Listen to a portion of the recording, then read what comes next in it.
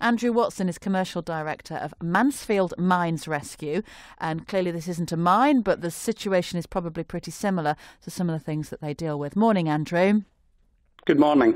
So, what, from your knowledge, what do you think these boys have been through? Well, they've been through the ups and downs of it. They've been trapped, no communication, no information about what's happening. They don't know if a rescue has been started. So all of a sudden, you have the divers appear and it changes their, their whole thought process. They're now on and up and their expectations will be very, very high. And that is something that the rescuers are going to have to manage very carefully is the expectations and also uh, not treat them as a group. There are 13 individuals up in there, and they will all react differently. And the thought process that some of them may be turn out using breathing apparatus, that will work for some but not for all. And I think the rescuers will need to give some very, very careful thought about that and obviously how they manage communications. It looks very complicated, this network of caves. How, how difficult do you think it's going to be to get them out?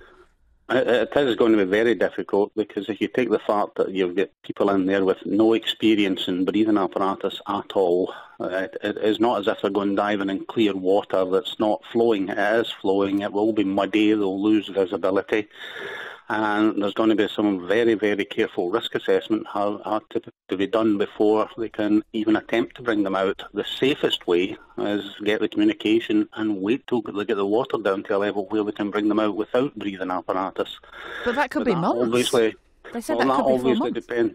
Yeah, that obviously depends on the circumstances. I mean, if I give you two mining, you've got the uh, incident with the 33 in Chile where once they had water, once they had food, etc., there was no actual immediate rush to actually get them out. They could take their time and do the job properly.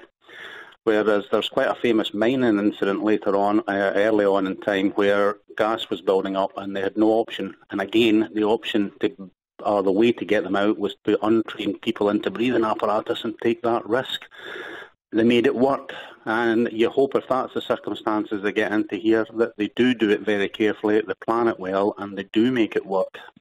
Yeah, well, we do. We hope and pray. And thank you very much for your expertise. Andrew Watson, Commercial Director of Mansfield Mines Rescue, saying it's dangerous, really, to put untrained, particularly children, in that position of using diving apparatus and breathing apparatus. No problem. To it.